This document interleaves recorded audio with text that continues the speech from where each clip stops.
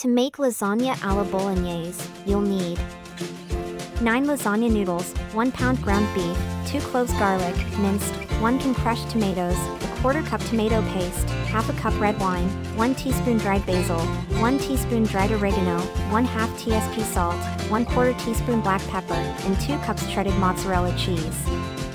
Cook lasagna noodles according to package instructions, then drain. Stir in crushed tomatoes, tomato paste, ground beef, red wine, basil, oregano, salt, and pepper. Simmer for 20 minutes.